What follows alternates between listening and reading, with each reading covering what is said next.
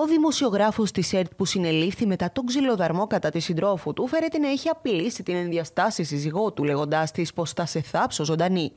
Σύμφωνα με τα στοιχεία εκπομπής, η ενδιαστάση σύζυγος του δημοσιογράφου είχε κάνει καταγγελία για ξυλοδαρμό, ενώ οι τελευταίες πληροφορίες αναφέρουν ότι η σύντροφός του έχει κάκωση στη γνάθο, μετά τα χτυπήματα που φέρεται να δέχθηκε από το δημοσιογράφο της ΕΡΤ. Την ίδια στιγμή πάντως, όπως τόνισε η εκπρόσωπος της ελληνικής αστυνομίας Κωνσταντίνα Δημοκλίδου, υπάρχουν αποδεικτικά στοιχεία.